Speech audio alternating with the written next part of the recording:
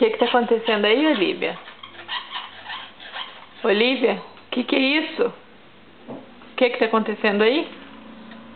Não. Não pode escrever na parede.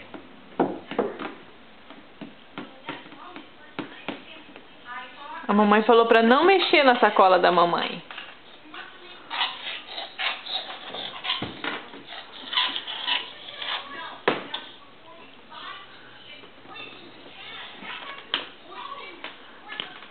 Ok, essa é minha parede.